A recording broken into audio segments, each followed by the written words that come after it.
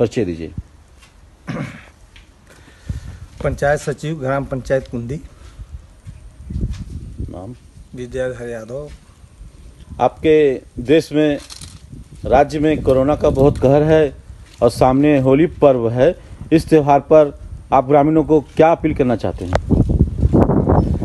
मैं अपी, मैं ग्रामीणों से सर नम्र निवेदन करता हूँ कि वो मास्क लगा करके और लगभग दो गज की दूरी बना करके होली त्यौहार मनाएँ।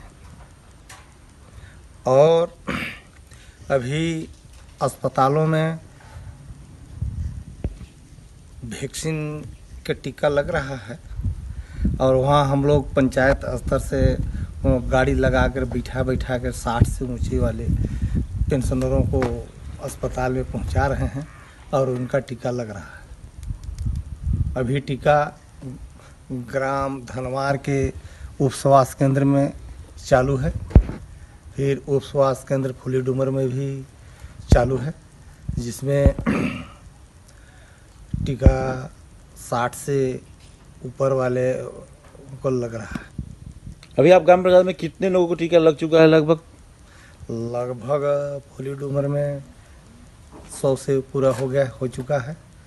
और कुंदी में भी करीब 125 के आसपास ऊपर